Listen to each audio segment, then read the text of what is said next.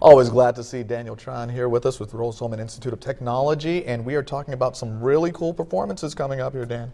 Yeah, we've got uh, coming up this Saturday. We've got the Bing Bang Boom Science Show. It's Great kind of- name. It's kind of fun to say. And it's uh, it's especially for kids K through eight, science based. It's for those of us parents back watching Mr. Wizard or Bill Nye the Science Mm-hmm. Guy. It's a very similar program to that, but live, interactive. They'll be bringing kids up on stage.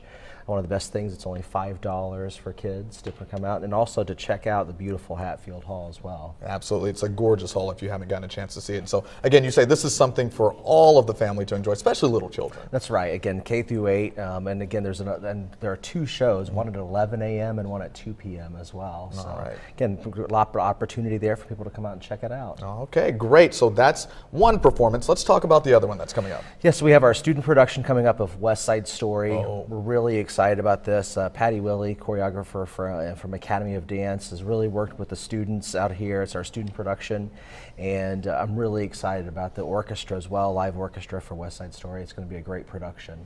It's an American classic, and for folks who maybe haven't seen it, what is it about? Well, West Side Story is kind of a modern retelling of Romeo and Juliet uh, with Tony and Maria and the gangs of the Jets and the Sharks.